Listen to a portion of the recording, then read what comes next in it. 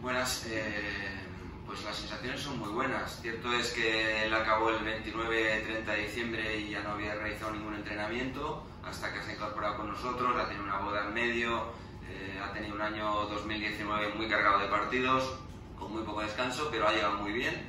De hecho, no ha desadaptado porque en 12 días es muy difícil que desadaptes y que pierdas la forma.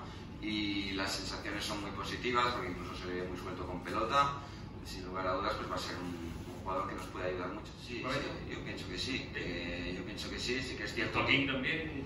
Bueno, empiezas a sumar todos, eh, pero yo creo que eh, para mí lo importante ahora, sobre todo, es que tenemos seguro mm, más posibilidades, que los jugadores van a hacer unos a los otros que exigirse más, al máximo.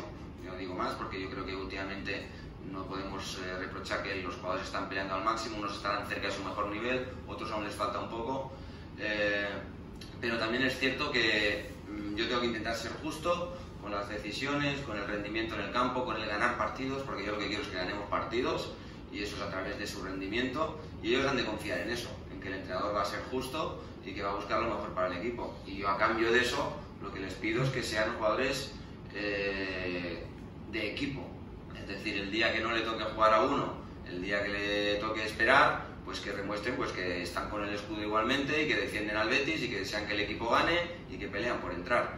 Pero los problemas son para el entrenador, que va a intentar ser justo con las decisiones. Yo creo que caber, caben casi todos, pero no tengo por qué pensar ahora quiénes van a ser los que van a jugar siempre, ¿no? porque seguro que no van a ser siempre los mismos.